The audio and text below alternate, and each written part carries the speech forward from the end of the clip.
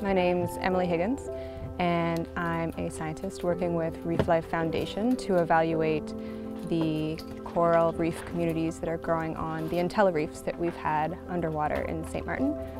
I examine animal and plant communities on artificial reefs and compare them to those living on natural reefs to see how they are similar and different and try to understand a little bit about how those communities function on both of them. Artificial reefs are a quick solution to build back that three-dimensional complexity that we've lost that would otherwise take decades up to 100 years to reconstruct with just natural processes alone. They can be designed in any shape to achieve different conservation objectives and can be modified depending on species-specific needs in a certain region.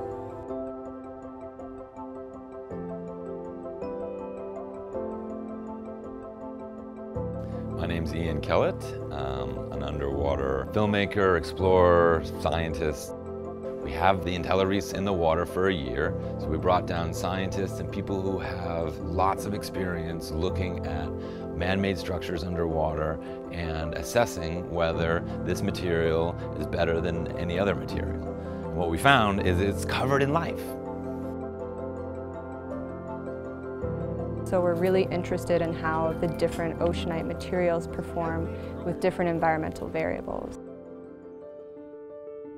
Other than the corals themselves, we are also measuring species that could facilitate a coral community forming on the IntelliReefs. So the most common one that we look for is called crustose coralline algae, or CCA. It's a calcifying red algae that prepares the substrate for coral settlement.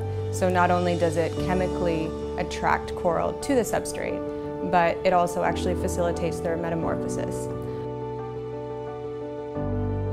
So here we are.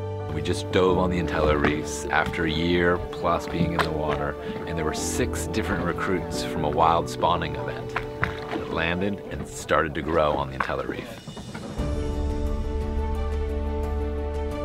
The results of our pilot study are really exciting because we found that the microtopography and complex matrix of pores created by our substrate provides an incredible amount of surface area for a diversity of life to settle, many of which are really important for reef development and feed a whole community of fish, which we found to be really, really abundant at sites with a high amount of vertical relief we found that the oceanite IntelliReefs supported increased cover of calcareous species such as crustose coralline algae and brooding corals, as well as increased cover of important functional species on reefs such as sponges. Our livelihood is based on people wanting to come here and most of the people that work here either grew up here or have lived here the majority of their lives so they've been able to see the difference in how the environment used to be in comparison to how it is now.